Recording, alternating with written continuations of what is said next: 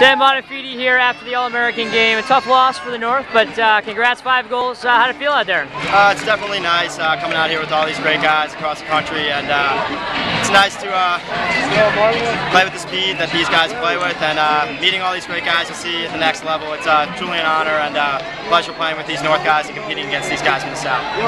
What's next for you this summer before heading out to Princeton? Um, going down there, going down there next week to work at camp, but just a lot of working out running, getting ready for the run test and the lift test, and uh, playing a summer league with a bunch of guys in the team. Just getting ready so I could uh, make a uh, make an impact as quick and as fast as I can. Five goals tonight. Were you feeling it, or what was kind of the? Uh, uh... I mean, you'll never see that. I mean, that doesn't happen too often. I was just hitting my shots. My buddy Sean Throne, I've been playing with him for four years, and he told me I was going to have a day, and I, I had a day, and it's it was a pleasure playing with him. And last game was pretty sweet. Congrats.